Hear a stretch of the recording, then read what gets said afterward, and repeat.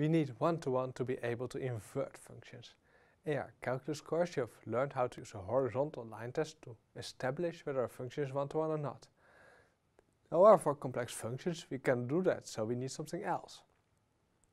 On complex analysis it is even worse, because functions can also be one-to-many or many-to-many, just not just one-to-one -one or many-to-one. -one. So how can we determine which case we have?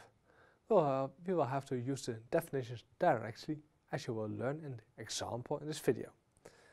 So what do we have in the, this example? We take a look at function f from c without 0 to c, where f of z equals z to the power i. So well, let's take a look. How z to the power i defined? z to the power i equals e to the power i log of z, with the small l which can be written down as e to the power i ln norm of z plus i times the argument of z where we have the small a. Uh, and then we have our f of z as e to the power i ln modulus of z. Okay, that part is fine. Uh, but we here we have e to the power minus the argument of z and minus argument of z with a small a equals e to the power minus the argument of z with a capital A minus k times 2 pi because the uh, small uh, argument of z is defined up to a factor of 2 pi and we see uh, if you pick one value of uh, you can get many values for a function val for a function because you can take any k you want. So for a given value of z you map to many uh, values in your codomain. So f of z is too many. One value maps to many values. Now, is f one to many or many to many? So uh, f of z is 1 to. If for all w in your codomain, which is in this case c, there exists as most wanted in your domain, which is c without 0, such that f of z equals w. That's the definition. So it's not possible to have two different values mapped to the same value. So now we wonder, can we find two different values, set 1 and set 2, uh, which maps to, to, the same value f of z. So we uh, are looking for uh, two values such that f of z1 equals f of z2. Can we achieve that? If we can achieve that, if we can uh, find many values mapping to 1, we have a many 2 in this case many function, and if we cannot do that, we have a one to, in this case many function. So let's try.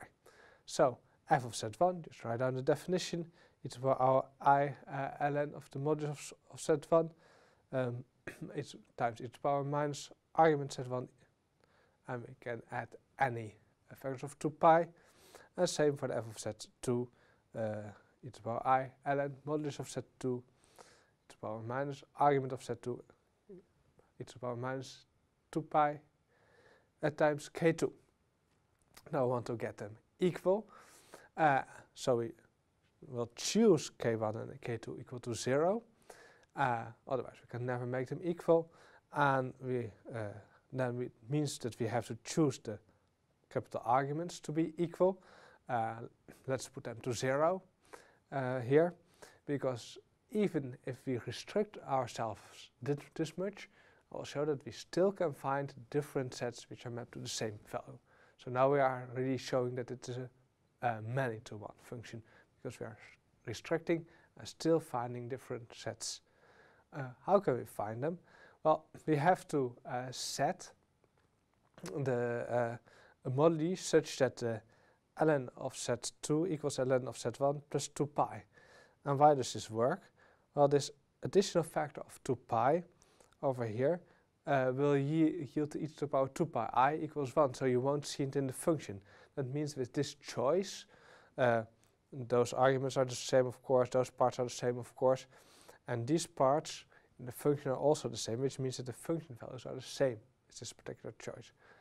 But if we choose the ln of the moduli like this, that means that uh, the modulus of z1 equals e to the power 2 pi times the modulus of uh, z, uh, modulus of z2 equals e to the power 2 pi times modulus of z1. That means that the moduli of z1 and z2 are not the same, which means that you have different Z1 and Z2 still mapping to the same function value. You can take, for example, Z1 equals 1 and Z2 equals e to the power 2 pi. And those two different values Z are mapping to the uh, same value. Uh, so in that case you would have f1 equals f2 equals 1, but z1 equals not z2. So f z equals is many to function. We had already that it was too many. So in this case, this f of z is a many to many function. So you see you uh, have to do quite a lot of work. You have to use the definitions, but then you can see whether f is one to one, one to many, many to one, or many to many.